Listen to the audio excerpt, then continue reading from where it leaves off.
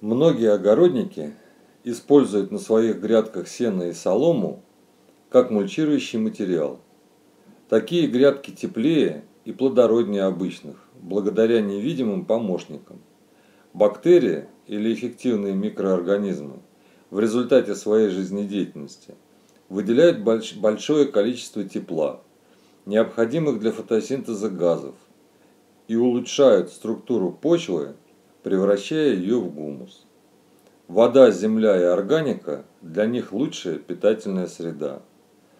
Но я сегодня хочу рассказать вам не об этих замечательных укрытых грядках, а об использовании тюков сена и соломы как оригинального строительного материала для ваших садов, огородов и дачных участков. Здесь все происходит с точностью до наоборот. Основой ваших грядок служат тюки сена, а земля расположена наверху. Обеспечив полив и необходимое количество грунта, вы можете смело высаживать овощи и зелень семенами или рассадой.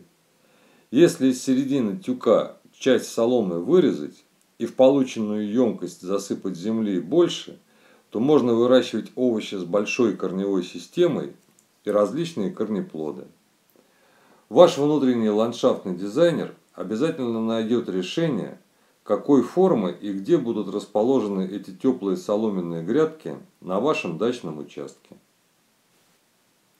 Из соломенных тюков можно проектировать и клумбы.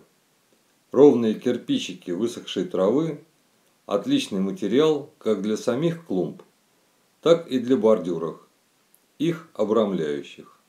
А если строительного материала у вас много, то можно замахнуться и на строительство парников.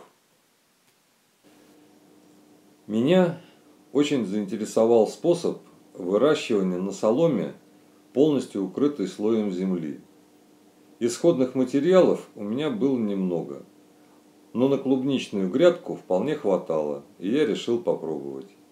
Прямо на газоне я распотрошил тюк сена – укрыл его слоем перепревшего навоза, для лучшего горения слоем свежескошенной травы, а сверху расположил слой компоста. Оболочкой такого реактора послужил черный укрывной материал, а можно использовать и геотекстиль или полиэтилен. Несмотря на то, что клубнику посадил только в середине июля, а лето было дождливым и холодным, Грядка-реактор отработала отлично. Накормила вкусные сочные ягоды и успела разрастись.